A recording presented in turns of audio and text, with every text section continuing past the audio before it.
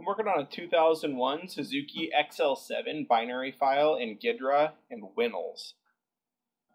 The map we found in WinOLS, we threw it in Ghidra and traced its x and y values in Ghidra back to an address that we were able to input back into WinOLS to give our x and y.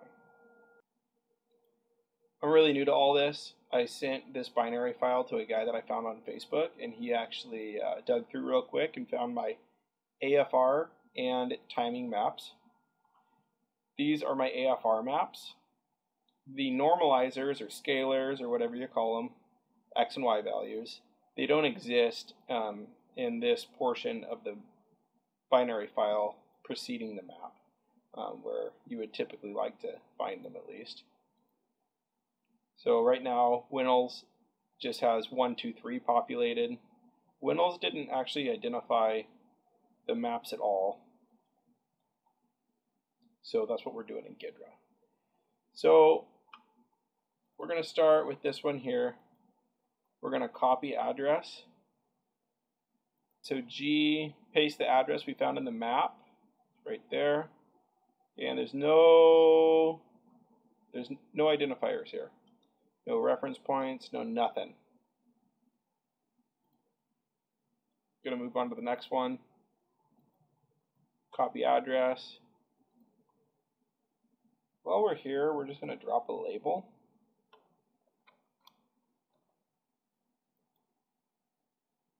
Okay, here's the next one's address. Okay.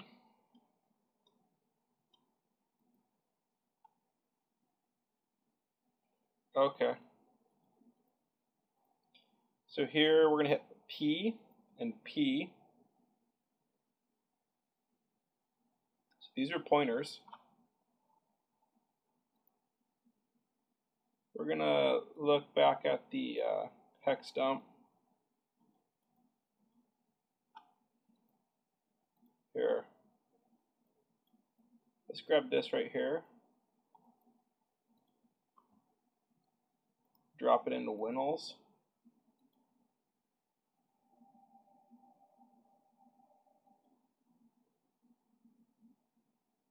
Okay, so an 8-bit view, 16-bit view, okay. Okay.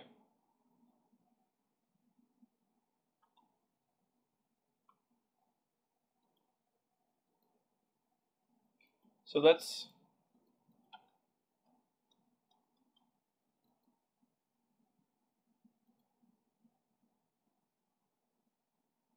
This is no this. This is that data point. Alright, let's call this our 3D structure. I think these are these are X and Y is my guess. So we're going to template this. I don't know if this is right or wrong, but we're going to say byte, byte, pointer. Oh, we already did that. And then byte, so pointer, pointer, byte.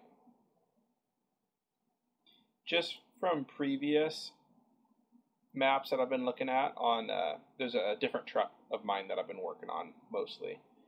But this 10, so that's a hexa, this is a hexadecimal 10. Its decimal value is 16.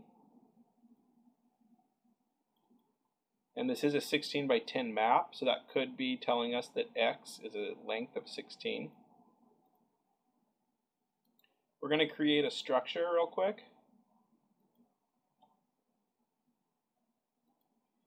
We're going to go byte, byte, pointer, pointer, byte. Unknown, unknown, we're going to call this x. We're going to call this y. We're going to call this x length. Name is going to be 3D struct. Save. And then let's test it out. So T, 3D, enter, confirm. Okay, I like this. Okay, this is AFR2 to the second AFR map anyways. Oh, you know what I didn't do? I'd like to copy that first.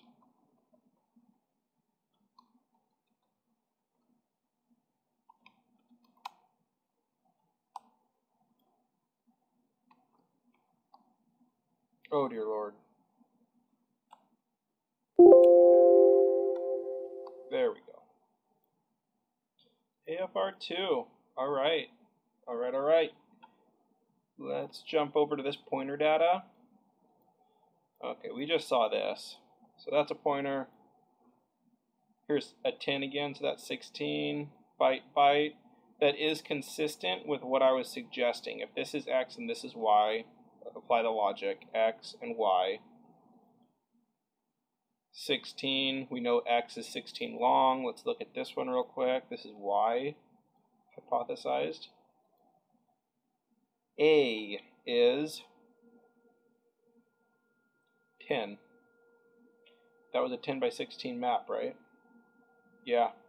And Y is 10. Okay. That's what we're rolling with. Don't know till you know, but it's a good assumption anyways.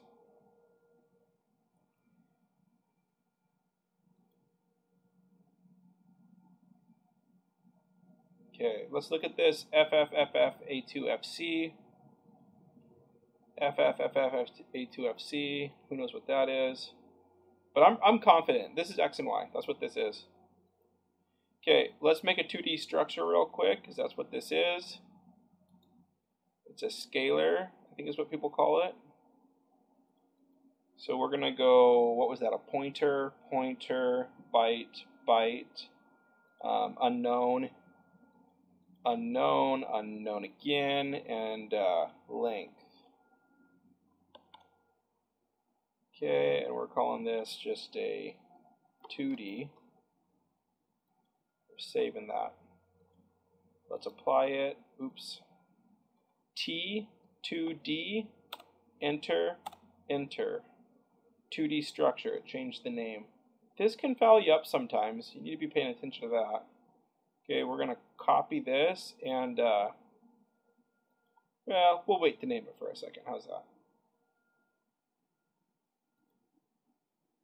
Yeah, this looks good.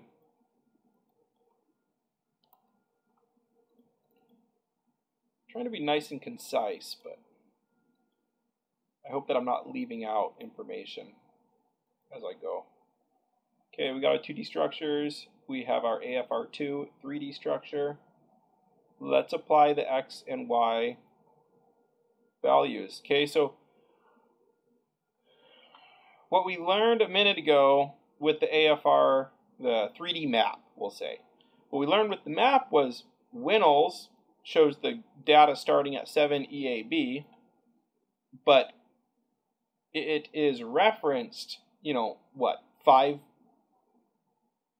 16 bytes off, whatever you want to call it, I don't know. Um,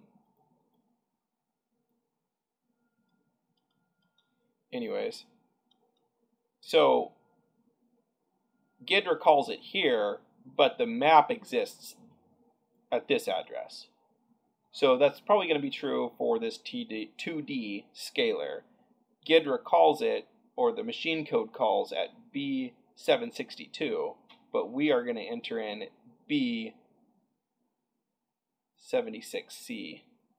We're going to copy that, and remember this is X, so we're going to go into here, properties, X, EEPROM, paste. Consistent, we're going to shift it.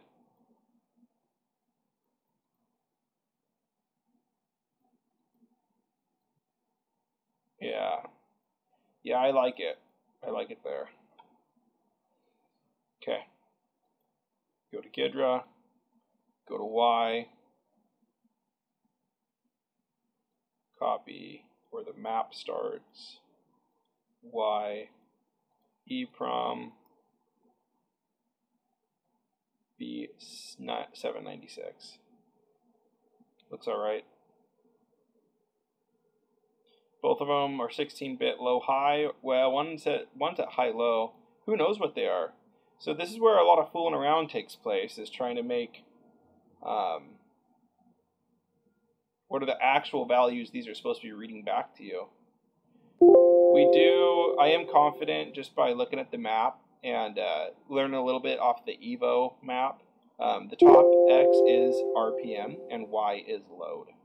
Um, it makes sense with the way the map is oriented also. Obviously these numbers aren't true, but you can see their value here. Or maybe even the inversion of their value. The map we found in WinOLS, we threw it in Ghidra and traced its x and y values in Ghidra back to an address that we were able to input back into WinOLS to give our x and y.